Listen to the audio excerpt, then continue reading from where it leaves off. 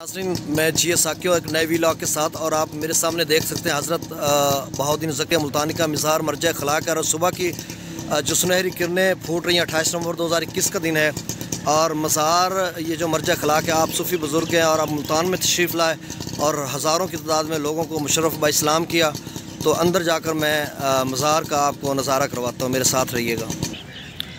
नाजरीन, ये दरबार आलिया का जो मेन इंट्रेंस गेट है, ये बड़ा खूबसूरत है और इसमें पुरानी तारीखी तर्ज तमीर का एक शाहकार है जिसके दरवाज़े भी आप देख सकते हैं कि किस कदर बनाए गए हैं और सैकड़ों सालों के गुज़रने के बाद भी अपनी असली हालत में दीमक या कुछ इस तरह का नहीं है।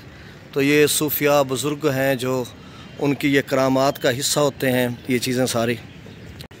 तो नाजिन ये एंट्रेंस गेट के अंदर का जो मंज़र है, बड़ी खूबसूरत जो ये देखें शतीर बने हुए हैं और ख़ूबसूरत तरीके से इसको बनाया गया और पत्नी कितनी पुरानी तारीख ये है और यहाँ पे जूते वगैरह रखे जाते हैं और नजराने के लिए यहाँ पे ये भी चीज़ें पड़ी हैं और facilitation desk for visitors foreigners जो फॉरनर्स लोग यहाँ पे आते हैं गैर मुल्की, उनके लिए।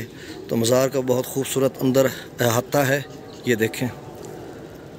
ये सुबह अल्लाह, माशा तो यहाँ पे कबूतर भी हैं और सूफ़ी बुज़ुर्गों के मज़ारात पे कबूतरों का बहुत बड़ा डेरा होता है, ये जंगली कबूतर हैं और किस कदर ख़ूबसूरत यहाँ पे आए तो नाजन दरबार की इस साइड पे ये मस्जिद है और ये कबूर हैं मुख्तलफ़, और इस साइड पे भी कबूर हैं और बहुत ही पुराने दौर की फसील बाहर से बनी हुई है और ये देखें ये मज़ार कितना खूबसूरत है और कहा जा रहा है कि अंदर की आप फ़ोटो नहीं बना सकते, कोशिश करेंगे।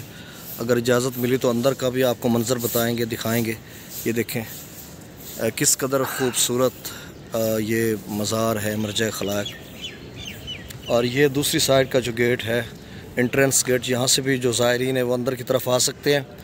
और ये मस्जिद है बड़ी पुरानी हिस्टोरिकल मस्जिद और यहाँ पे मस्जिद का कतबा भी लगा हुआ है, मस्जिद हाजा की तमीर नौ का ये कतबा जनाब मियाँ मोहम्मद जाकिर कुरेशी साहब वज़ी अवकाफ़ ज़क़़त समाजी बहबूद पंजाब ने अपने दस्त मुबारक से चौदह जमाती उसानी, चौदह सौ दो हिजरी।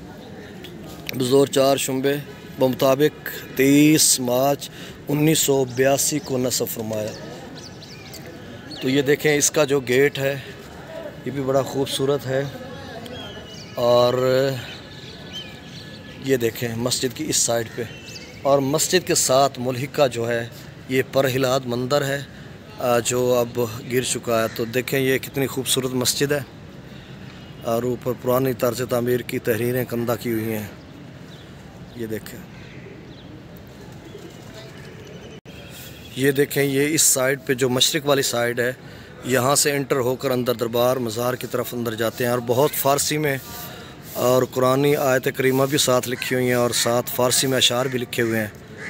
तो ये अंदर की तरफ़ ये दरवाज़ा जाता है और नाजरीन, ये अंदर के हाथे में मज़ारात हैं और ये आखिरी आराम गाह है जो नवाब मुजफ़र ख़ान सद्दोज़ई जिसको सिख हुक्मरानों ने शहीद किया था दो जून अठारह सौ अठारह को।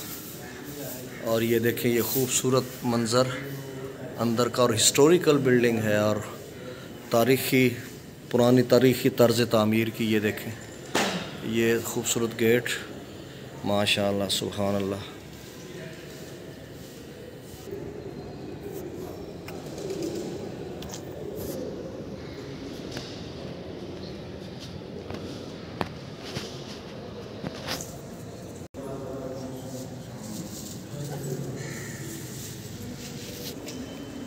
अल्लाह